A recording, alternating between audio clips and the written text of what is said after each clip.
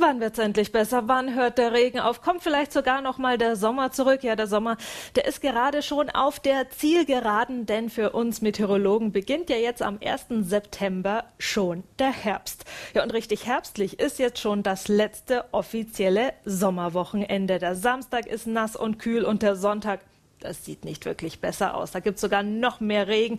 Einige Regenwolken ziehen da durch und das Ganze staut sich vor allem am Nordrand der Berge wie Erzgebirge, Thüringer Wald, aber vor allem an den Alpen. Da können allein im Laufe des Sonntags 50 bis 80 Liter Regen runterkommen. Das heißt, die Hochwassergefahr steigt da stellenweise an.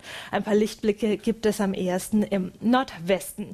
Ja, und von Norden her wird sogar ein bisschen wärmer. Da steigen die Temperaturen mit Sonne mal auf 20, 21 21 Grad. Unter den Regenwolken bleibt es aber ziemlich frisch mit 13 bis 18 Grad. Ja, und zum Start in die neue Woche weiterhin Regen. Und das bekommt vor allem wieder die Osthälfte und auch der Süden ab. Also die Hochwassergefahr steigt auch am Montag noch ein bisschen an. Die Pegel der Flüsse, die steigen weiter. Und das betrifft vor allem Regionen Richtung Erzgebirge und Alpen. Im Nordwesten, da wird schon ruhiger.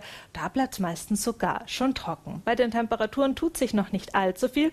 Wir bekommen 15 bis maximal 21 Grad im äußersten Westen und teilweise auch im hohen Norden. Dann der Dienstag der letzte offizielle Sommertag. Und tatsächlich gibt es dann im Westen schon längere trockene Abschnitte mit ein bisschen Sonnenschein, aber sonst geht das Tiefdruckwetter noch weiter. Da gibt es noch einige teils kräftige Regengüsse und Gewitter. Die Temperaturen bleiben bei 16 bis immerhin mal 22 Grad im Westen und dann die ersten Herbsttage. Die werden ein bisschen sommerlich, zumindest ein bisschen. Es wird nämlich Tag für Tag von Westen her freundlicher und auch wärmer. Wir bekommen immerhin bis zu 25 Grad.